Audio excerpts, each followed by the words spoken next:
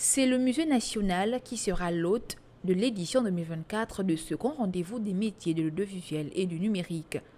Face à la presse jeudi à Libreville, Jennifer Mayombo, présidente du comité d'organisation du SAMO, a annoncé que les sessions interactives seront au programme, couvrant divers domaines tels que l'intelligence artificielle, l'animation radio-télé, la communication digitale, le mobile journalisme, le pilotage de drones. C'était aussi l'occasion de faire une rétrospective des trois années précédentes. La première année, nous avons eu euh, pas mal de Gabonais qui ont fait le déplacement. Nous avions commencé avec deux provinces, donc celle de, nous avions les villes d'Oyem et de Mila.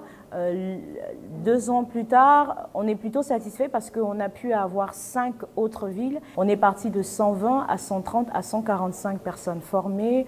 En total, à tout casser de 395 personnes. Il s'agit là d'une excellente opportunité de se former, d'acquérir de nouvelles compétences et de rester à la pointe des avancées technologiques dans le domaine des médias, comme le souligne le professeur Franck Daniel Idiata, président fondateur du groupe EM Gabon, partenaire du SAMO. Il y a très peu d'établissements qui ont de vrais plateaux techniques.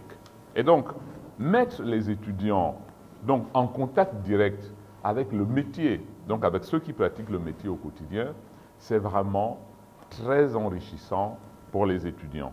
C'est en cela que nous, depuis les trois premières éditions et aujourd'hui encore, nous participons activement au SAMO. Cet événement phare s'adresse donc aux professionnels des médias, aux passionnés, aux étudiants et aux amateurs désireux de découvrir les nouvelles tendances et innovations dans le domaine de l'audiovisuel et du numérique.